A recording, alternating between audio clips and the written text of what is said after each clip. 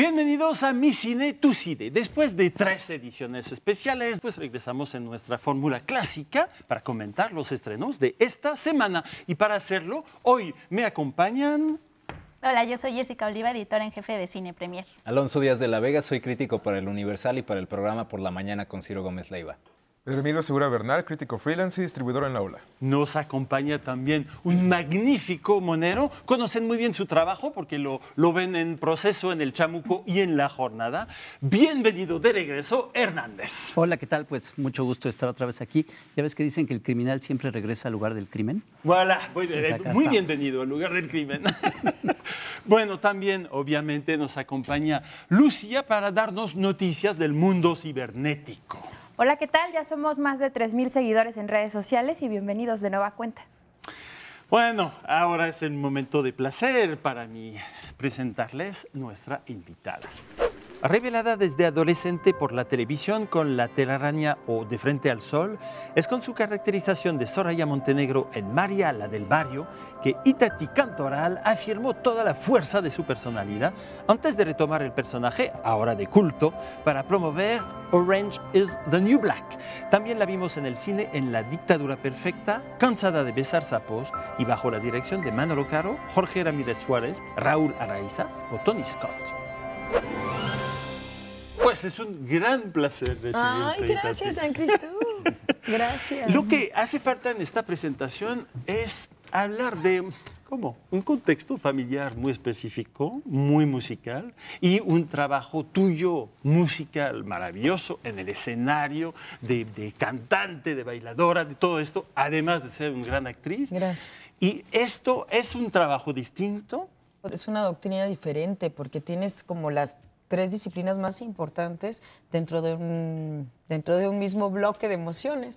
Y entonces cuando son las tres, a veces uno como que em, piensa que el género es menor, porque a lo mejor en la comedia musical como que no logras ver que, la- que los personajes o que, o que el director o que el escritor toquen fibras profundas. Y considero que, que no hay que menospreciar el género de la comedia musical, sino al revés. Y solamente cuando lo haces, te das cuenta que sí hay que sacarse el sombrero para quien lo hace bien.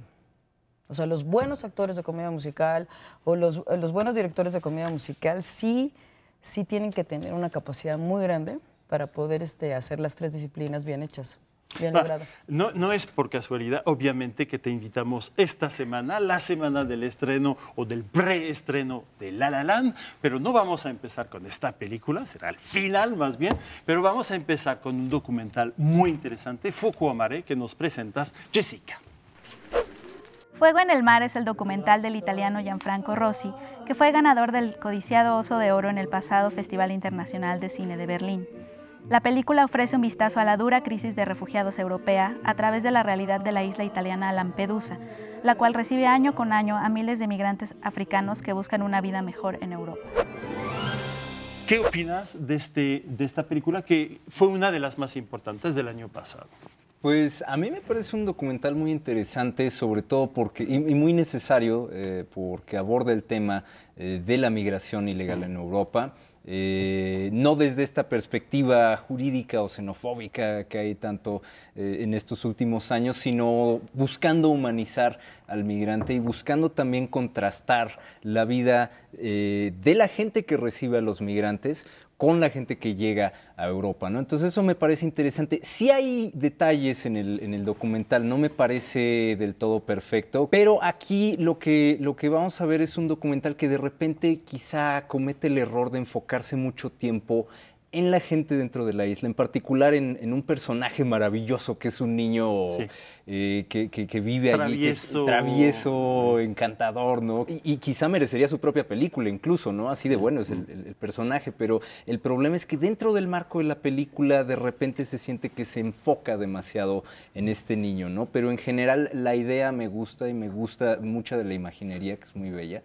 Creo que, creo que es un documental que vale la pena. Es, un testimonio muy fuerte. Ahora, ¿qué te molestó a ti, Pedro? Estás presumiendo que me molestó, Jan. Pero, Lo sé, te pero en efecto, comparto mucho lo que dice Alonso y en eso van mis molestias. Siento que un momento la película se vuelve muy eurocentrista.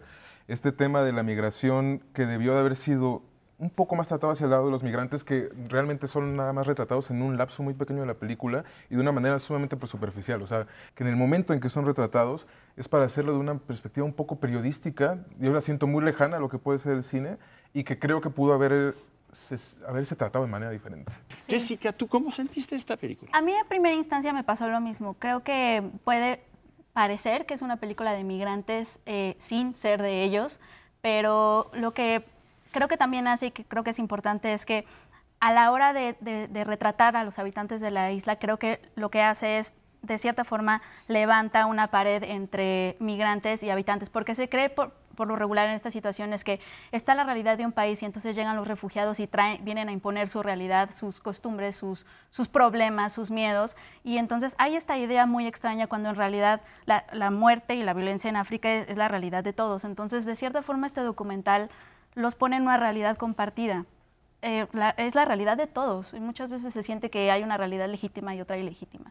Entonces eso es lo que está raro y me gusta eso. Y además es una vida muy X. Cuando pensamos que todos estos migrantes son listos a dar su vida, a morir, tomar el riesgo de morir para llegar a esta isla finalmente donde no pasa nada de, muy interesante, más bien ellos mismos son muy desilusionados.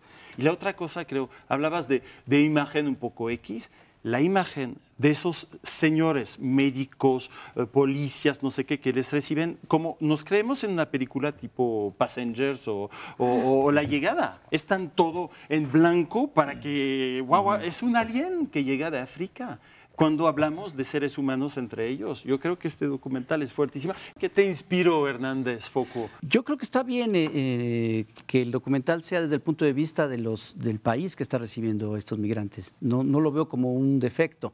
En todo caso, yo creo que los migrantes deberían de tener más tino en escoger a qué país llegan, porque esa idea de llegar a un país europeo cuya forma eh, de este país es una bota, pues no me parece muy, muy muy buena idea. Deberían de pensarlo mejor. Ay, pobre. Oye, qué cruel eres, Hernández. Bueno, pues es que la realidad es cruel. ¿Yo qué quieres que haga? Bueno, vamos a poner botas y regresamos en un momento.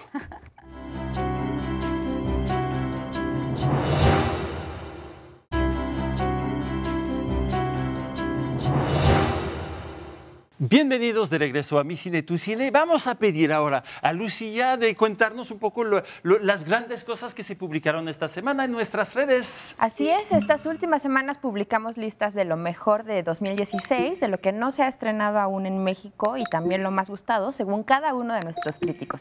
Si no las han checado, busquen en arroba Mi Cine, Tu Cine TV y coméntenos cuál fue la lista que más les gustó y no olviden incluir nuestro tag MCTC. Y por otra parte, Itati, tenemos tenemos que confesarte que pusimos una cámara escondida cuando Arcelia Ramírez te anunció que ibas a ser nuestra invitada. ¡Ay, a ver!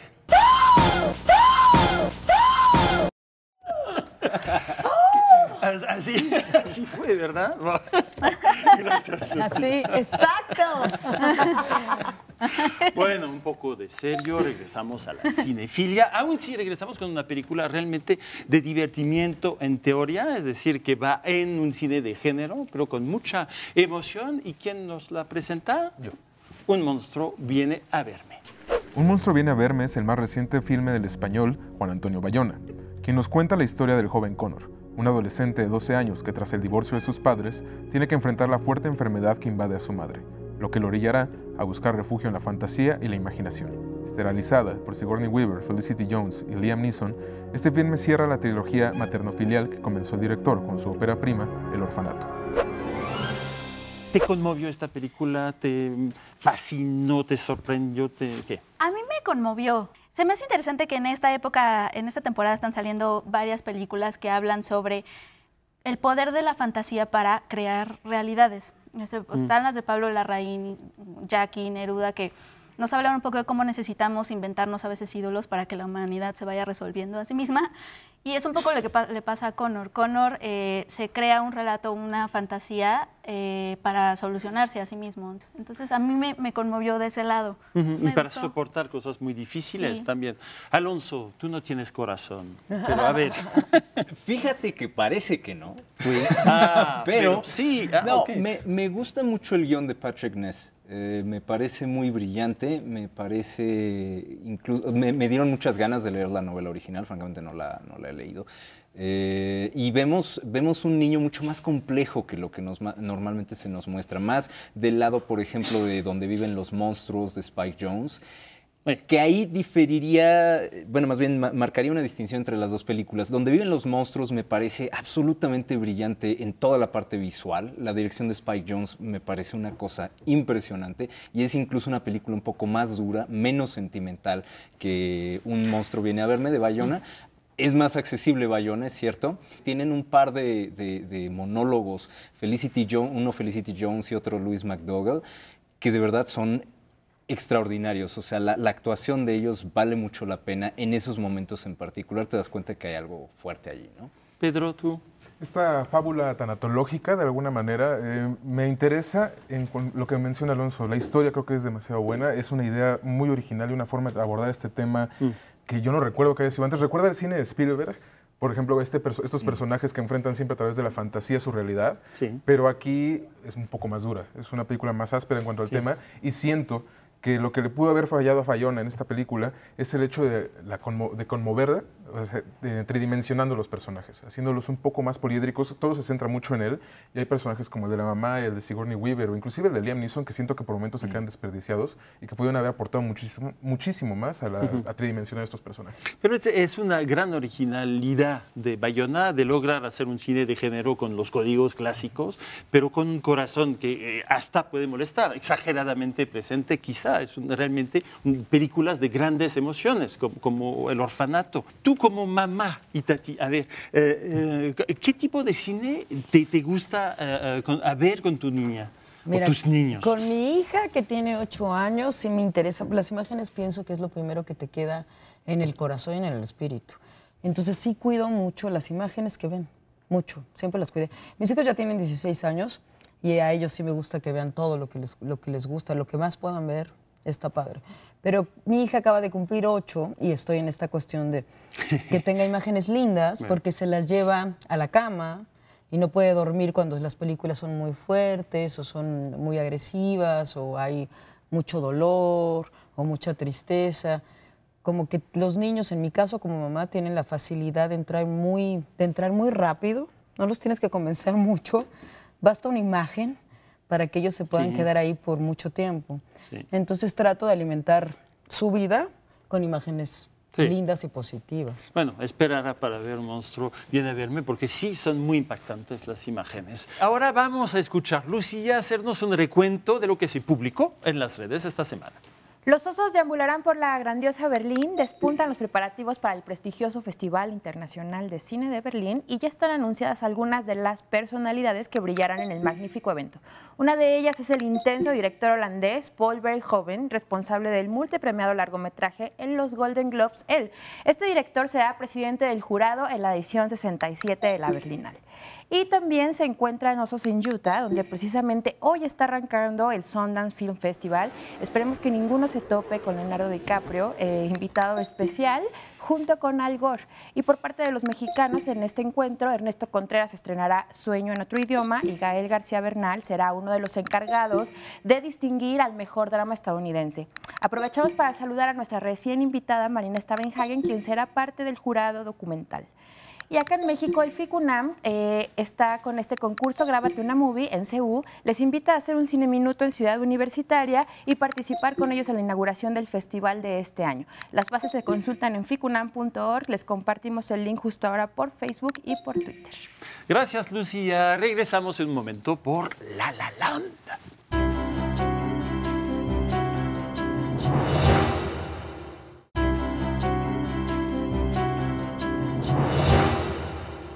Bienvenidos de nuevo y esta vez vamos a hablar de la película tan esperada, ya que pinta para ganar el Oscar a Mejor Película, etcétera. ¡La, la, la! Voilà, alors, para presentárnosla, escuchamos a Alonso. La La Land es el tercer largometraje del director Damien Chazelle. Ganadora de siete Globos de Oro, esta película con influencia de Jacques Demy y los musicales de Hollywood cuenta la historia de una pareja de artistas que se enamoran mientras intentan alcanzar el éxito. Protagonizan Ryan Gosling y Emma Stone. Y La La Land. Ahí sí. ya llegamos a- a- al- lugar donde queremos escucharte. ¿Qué pensaste de esta película? Bueno, me encantó la película, me encantó la dirección, me encantó la edición. A mí que me gusta mucho la comedia musical, pero de cierto género, porque no me gusta mucho la comedia musical donde cantan todo. Donde Ok. voy a ir al baño, yo también. No.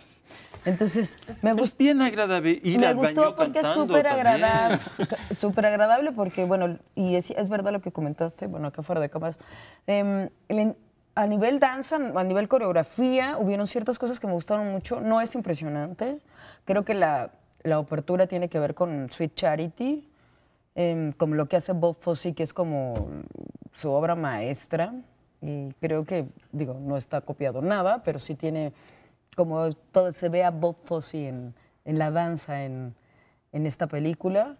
Em, no, no, no, no, no puedo realzar la coreografía porque no, no es lo que realmente adoré de la, a mí de la película. De hecho, ni siquiera las canciones, más que la canción evidente principal, eh, la, la canción principal, el, el tema del- de, la, Mm. de la película, que es un tema que no tiene letra. Y Eso también me gustó mucho, porque dentro de un musical, pues siempre tienes como la canción con letra, de, que es la canción base de toda la obra. Creo que lo- las dos cosas que dijiste van, van juntas, es decir, que la dimensión de, de- de una melodía sin letras es parte de esta melancolía, además del piano solo, profundamente conmovedora, triste de la vida, y que, y que, que va de junto con esta reflexión sobre qué es el éxito, qué, qué- qué voy a hacer de mi vida. ¿Qué pensaron los unos y los otros, Pedro? Las cosas que no me gustaron de La La Land ya las dijo todas y a ti, entonces me voy a enfocar un poco en las cosas que sí me agradaron. Creo que el principal poder de la película no es ni el virtuosismo excesivo de Damien Chazelle, que es un joven director muy talentoso, sino que real- ni las canciones que también realmente son un poquito olvidables. O sea, para un, un musical uno esperaría que unas canciones fueran contundentes. Sí, más. de hecho, ¿sabes cuál es la canción que yo dije? Ah, ¿Cuál de la todas? de ella, La de ella. eh, eh, me justamente llegando al buena, clímax, que yo también pensé, a lo mejor esa es la canción, y no. O sea, Damián es tan buen director que creo que se olvida por un momento que las canciones deberían de estar ahí por alguna razón. Más que un tributo a las películas musicales, me parece un tributo a las películas de Disney, donde las canciones están ahí siempre y siempre acompañan un poco a la historia, te dimensionan los personajes, pero no están ahí como Ay, para estoy de acuerdo punto- contigo. Sí, pero no tienen la profundidad que llevaban los actores. La O profundidad la que de la historia misma. uno puede encontrar en películas como esta, El paraguas de Cheburgo de Jack Demy, que realmente es una referencia que toma Damián para hacer La La Land. Esta sí es una película donde cuando van al baño cantan. O sea, cuando salen, del, cuando, Ay, voy. cuando salen del baño cantan y que es un clásico de la historia del cine, que si les gusta La La Land, la recomiendo mucho para que la acompañen. Sí, yo, yo, yo eh, recomendaría esta del mismo Jacques Demy, pero que me parece, aun si Chassel nombra los paraguas y hasta aparecen les parapluies en, en, en eh, La La Land, es Les Demoiselles de Rochefort, que es mucho más jovial, mucho más presente y hay muchas escenas de, de, de La La Land que parecen mucho. Ahora, ahora el momento de la declaración de amor a Damien Chassel. Chassel, ya aprende tu cosa, porque voy a pedir a Jessica de de La La Land. La voy a hacer yo. No, yo no, yo no estoy de acuerdo para nada. Ah. A ver, pero es que eh, a mí lo que me gusta mucho de Damien Chazelle es que ya se ha hablado mucho de todos los guiños que son como el Stranger Things del musical aquí en, en Damien Chazelle, a todos los guiños que hay del Hollywood de Technicolor, a Jacques Demy, pero a mí, a mí lo que me gusta es que más que un homenaje, más que un estar viendo al pasado todo el tiempo de Damien Chazelle, a mí lo que me parece es que muestra más bien cómo estos elementos del pasado eh, de este Hollywood de Technicolor, cómo este amor a la antigua, cómo, cómo es que este sentir intensamente, eh, que es lo que hace un musical, es demostrar cuando uno está tan enamorado que de repente no puede más que bailar y en el periférico y así. ¿Cómo es que ese tipo de ¿Cómo es que ese tipo de, de sentimientos tan fuertes es que caben en la modernidad? A mí, a mí eso, Eso es lo que a mí eso me, sí logrado. es lo que a mí me transmitió y, y el tono que, que hace, que, que creo que justo a eso responde que las, peli- que las canciones empiecen muy fuertes al principio y no tan fuertes al final, es que rescata el tono, rescata los sentimientos de un soñador. Un soñador está increíblemente feliz de tener una ilusión, increíblemente triste de no haberla conseguido aún.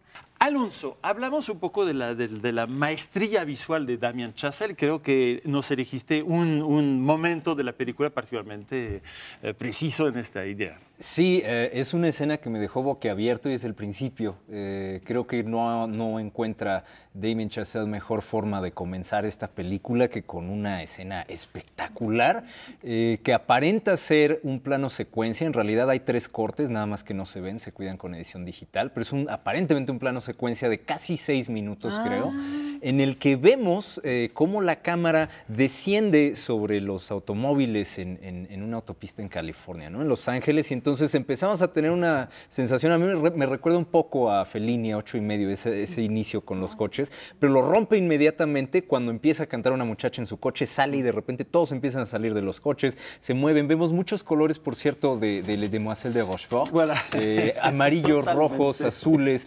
totalmente colores de, de Jacques Demy en esa película en particular. Pero en esta escena lo que me llama la atención es este plano secuencia tan bien logrado, de verdad es una cosa espectacular. Espectacular. Eh, la coreografía, ahí sí, y Tati podrá decirnos algo mejor. Espectacular. No, la escena de apertura no hay duda. eso No hay Es- duda. Si Es fuera un cortometraje y esa escena fuera toda la película, diría que es una de las grandes obras maestras del musical en general, porque es, es algo que no se ve mucho, ¿no? Ah, Tiene una, una ambición visual muy, muy impresionante. Bueno, ya ahora nos despedimos porque vamos a ver las seis minutos del... No, no es cierto. Vemos un minuto de esta La secuencia. La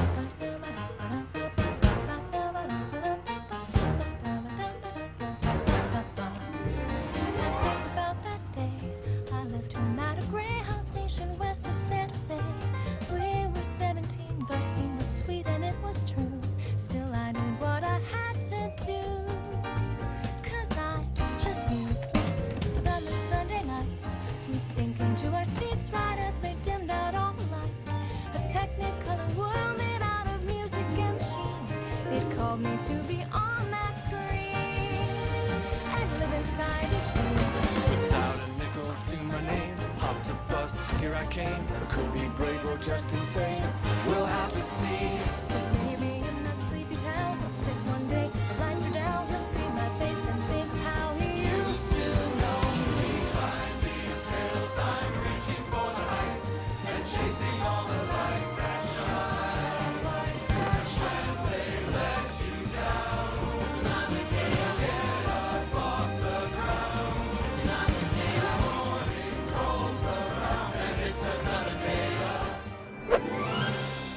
Una comedia musical. José, ¿qué te inspiró? Yo creo que hay un referente muy específico en esta película que ninguno de los jóvenes críticos vieron, pero que está clarísimo, y es Cantando bajo la lluvia. Realmente esta película va a ser Cantando bajo la lluvia de Óscares, que se va a ganar en la próxima entrega de los premios de la Academia. Ah, muy bien, muy cinéfilo. Felicidades y muchas gracias por esta nueva participación, Hernández. Al muchas contrario. gracias. Ahora, chicos, antes de despedirnos, su recomendación. Pedro. Mi recomendación sería Ni el cielo sabe qué de los hermanos Abdi, una película neoyorquina muy intensa sobre drogadictos.